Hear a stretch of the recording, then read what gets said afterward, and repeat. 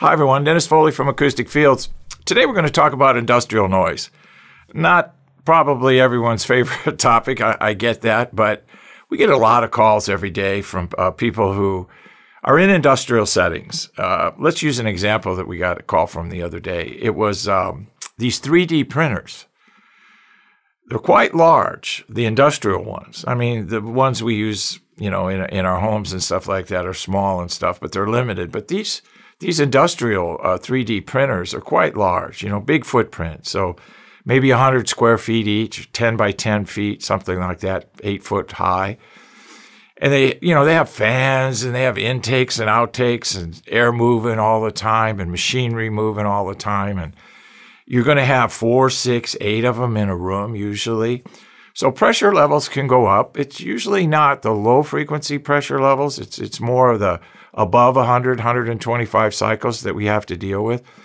But when you have a lot of sources, and let's consider these machines as sources of sound, noise, if you will, filling the room, then we have to decide, you know, how we're going to treat it.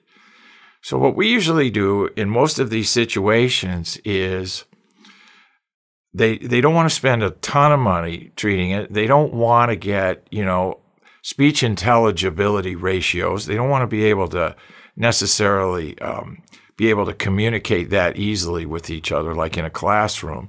But they do want the noise level lowered. And OSHA, you know, the governing agency uh, that regulates these issues, is very strict about uh, having noise levels too high for too long a periods of time and exposing workers to that. And, and that's valid. You know, that you have to be very, very careful. Headphones is a good example.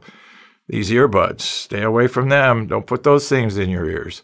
Pressure levels inside your ears from using those, I can't even imagine what, what it's like. So stay away from anything like that that seals the ear, doesn't let energy get out. So the bottom line here is it's all about treating enough square footage. So in these industrial situations, we have to have we have lots of noise, we have high levels.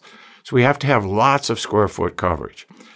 Secondly, along with that approach, we have to use the right rate and level of absorption. So we must measure. We must measure the noise. We must measure the noise over seven days, just like we do for a studio, a new studio build. We must measure the noise in all areas of the room. And once you get all of that data, then you're able to provide kind of a map of the source, the machines, and the energy issues that you have in the room. And then what we do is we focus the treatment as close to the machinery as we can. Because a lot of these places are on limited budgets and they can't really afford to treat the whole room.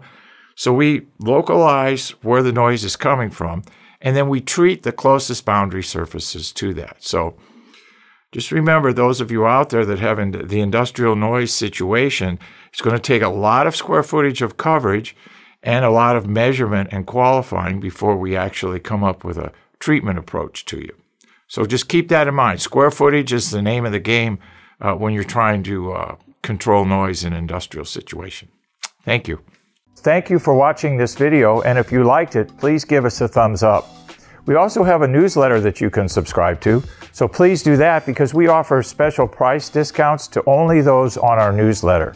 And then don't forget about our forum. We have started a forum on our own website where people ask questions, and I usually get a chance every couple days to look at it.